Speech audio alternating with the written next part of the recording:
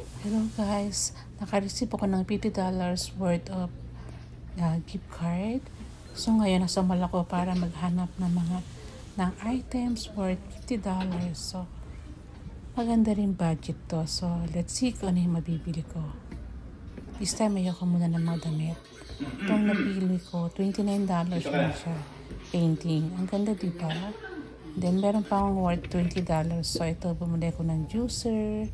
Mga $4 lang yan. Tapos itong isa, um, olive oil, mga $5. Ito, $4, $4 din yan, $4.99 yata siya.